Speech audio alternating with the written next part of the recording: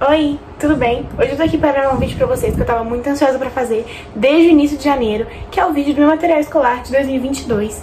Então assim, demorei pra fazer, mas tô aqui agora. Vamos lá, se vocês gostam desse tipo de vídeo, deixa o like, se inscreve no canal aqui embaixo, ativa o sininho pra não perder nenhuma notificação e me siga no Instagram. Eu vou começar pela mochila e é a mesma desde o sexto ano que é essa aqui da Kipling. Porque Kipling, gente, pra quem não sabe, é uma que você compra pra vida inteira, entendeu? O único arrependimento que eu tenho foi ter comprado ela estampada, porque isso aqui enjoa muito fácil. Mas eu tô usando ela desde o sexto ano, ela não tem um furo, então eu vou continuar usando. É isso. Agora eu vou mostrar os cadernos. Esse ano eu comprei a maioria deles sem tema. E é isso, vou mostrar pra vocês. É, o primeiro é esse daqui da Neon, que é um modelo da Tilibra que, assim, acho que todo mundo conhece que tem uma capa mole colorida, tem uma folha branca depois, um plástico, a folha de dados pessoais e a folha branca normal pra escrever e tal, é bem simples. Eu gosto demais dessa linha, inclusive ano passado eu comprei um caderno desse pra matemática. Dessa mesma linha eu também comprei esse daqui que é tipo um laranja, um vermelho, sei lá. Também a neon por dentro é igual, só muda a cor da frente mesmo. Eu fiquei muito chateada que só tinham essas duas opções lá na loja e por isso eu só levei elas. Os próximos cadernos são de uma linha da Jandaia que é muito parecida com essa da Tilibra, que é da linha Estilo. Que assim, é, a única diferença é a capa dura e acabou aí. Tem um bolso, tem os dados pessoais aqui, a folha e a folha branca normal. É outro caderno também dessa mesma linha da Estilo, da Jandaia.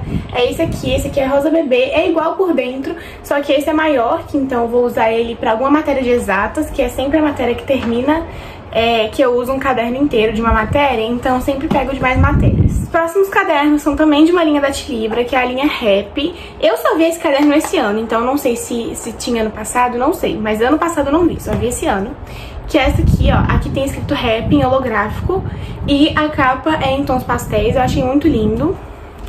Então tem laranja. Por dentro, a contracapa de estrelas.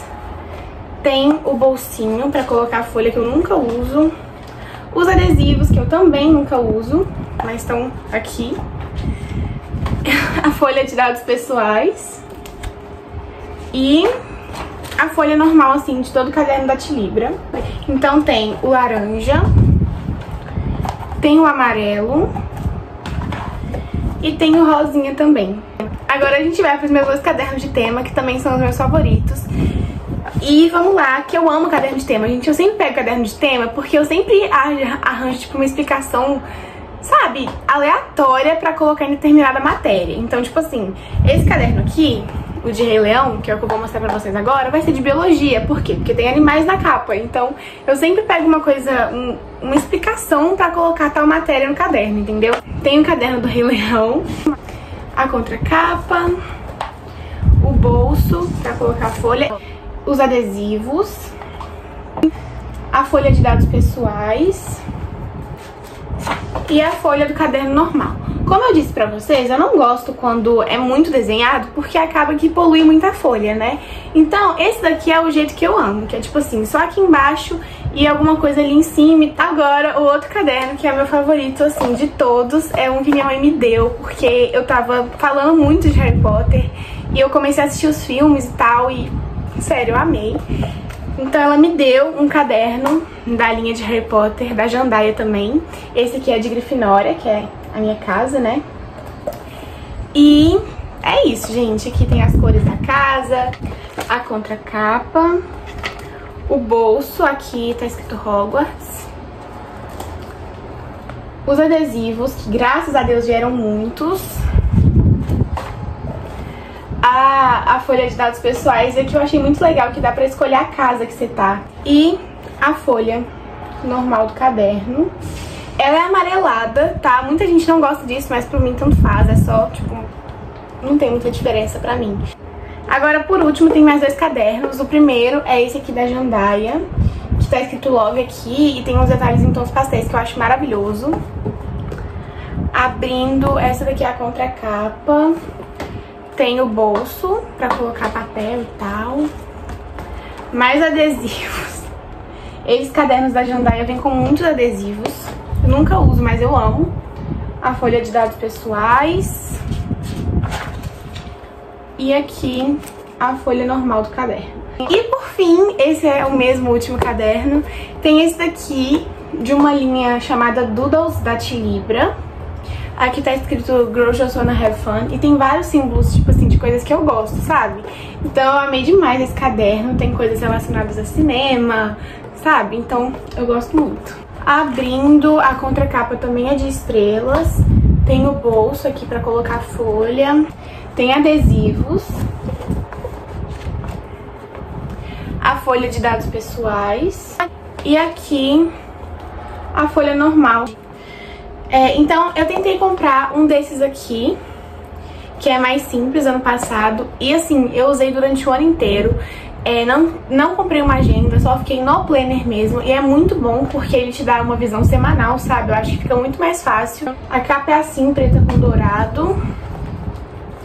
Tenho a contracapa, o bolso pra colocar folha. Vem os adesivos que o do ano passado eu não usei. Tá tudo ali guardado. Aí aqui começa o planner mesmo, ó, que tem uma visão mensal. Aqui, vou mostrar pra vocês. De todos os dias do mês, pra você acompanhar e tal. E logo depois tem a visão semanal. Então é isso que eu falei pra vocês que é muito mais fácil do que uma agenda, que você só abre assim e já tem tudo que você vai fazer na semana, tá vendo? Eu também tenho esse caderninho aqui, que a minha mãe me deu, da mesma capa do caderno de espiral, que tem a mesma frase, os mesmos símbolos e tal. Eu ainda tô vendo o que eu vou fazer com ele, que ele é tipo, ele é bem molinho assim, sabe? Bem fininho. E as folhas são assim. Ainda tô vendo o que eu vou fazer, mas ele tá aqui no vídeo. Também comprei três pastas. Na verdade, eu só queria essa daqui, só que aí meu pai achou que, tipo, sei lá, ia estragar ou que eu ia precisar de mais. E aí ele escolheu mais duas cores. Ele pegou uma preta e uma roxa. E eu peguei a transparente normal, fininha mesmo, só pra levar redação, alguma prova pra casa, da escola pra casa, uma coisa mais simples mesmo. A primeira coisa que eu vi quando eu entrei na loja foi, tipo assim, uma estante temática só de Harry Potter. E nela tinham dois organizadores semanais, que era uma coisa que eu tava muito atrás, em todas as papelarias que eu entrava eu olhava o valor e tal. E eu achei do Harry Potter. Eu escolhi esse aqui, que tem o Rony, o Harry e a Hermione. Agora a gente vai pra parte de estojo e o meu é esse aqui, ó, da Kipling também. Ele tá com uma coruja porque o macaquinho dele é muito lindo, é tipo um pompom, sabe? Aí eu guardei o macaquinho e deixei a coruja aqui mesmo, que eu acho mais fácil. Aí ele abre, tipo, assim, sabe? Os dois negocinhos abrem do lado e ele tem em ambos os negocinhos pra colocar lápis. É, a primeira coisa que eu vou levar no meu estojo vão ser os estabilos aqui. Eu sempre levo as mesmas cores. É, eu tenho um sistema que é de color code, né? Muita gente usa isso pra livro, tipo de leitura e tal. Mas eu uso pras minhas matérias. Então, tipo, cada matéria é uma cor diferente. É por isso que eu tenho um tanto de caneta assim. Mas esse ano eu acho que eu vou tentar diminuir. Mas são essas aqui que eu tenho. Tem uma régua, que é a minha régua que eu comprei no ano passado. E eu deixo aqui no meu estojo, porque ela é de 15 centímetros, acho mais fácil. Também tenho aqui uma caneta branca da Uniball pra título, que é caneta em gel, e uma caneta brush da Pigman, que tem uma brush maior assim, sabe? Aqui tem os meus marcadores da Estabilo, que são os que eu uso em casa. Nessa coleção minha aqui, estavam faltando esse amarelo, que o meu acabou no passado, então eu comprei quando fui comprar meu material. E as quatro cores novas, que são essas aqui, ó. Que é um rosa, um laranja, que não é um laranja, é tipo um laranja mais claro, mas também não é um amarelo. É tipo, ah, sei lá, gente. Um azul, que é um azul mais bebê, assim. E um cinza. Comprei também esse, mar esse marca-páginas aqui, é um post-it, né, de flag. Vou abrir ele aqui pra vocês. Que na verdade, gente, isso aqui eu não uso pra escola. Desde que eu comecei a ler, eu não uso mais post-it flag pra escola porque gasta, entendeu? E não é um negócio barato. Esse aqui mesmo custou 19 reais. Eu prefiro usar nos meus livros do que usar nos livros da escola, né? Eu comprei esse daqui porque as cores dele são mais diferentonas das que eu tenho, sabe? Tem um roxo, que eu não tenho flag roxo, eu acho. Uma verde, assim, que eu vou usar pro livro As Vantagens de Ser Invisível, que é exatamente o verde da capa, então maravilhoso. Tenho dois corretivos em fita, cada um custou R$10,95. Eu sei que o preço tá aqui, né?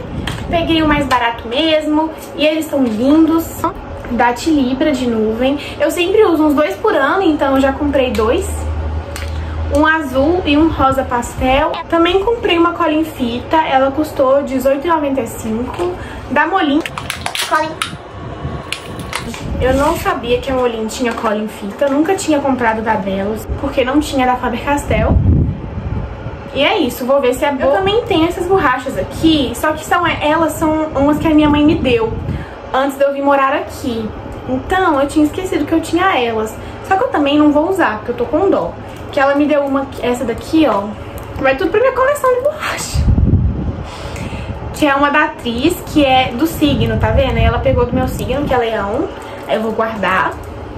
E tem essas duas aqui que eu vou usar, acho que só a verde, que é tipo, né? E a rosa é mais bonitinha, tá vendo? Que são de flores assim.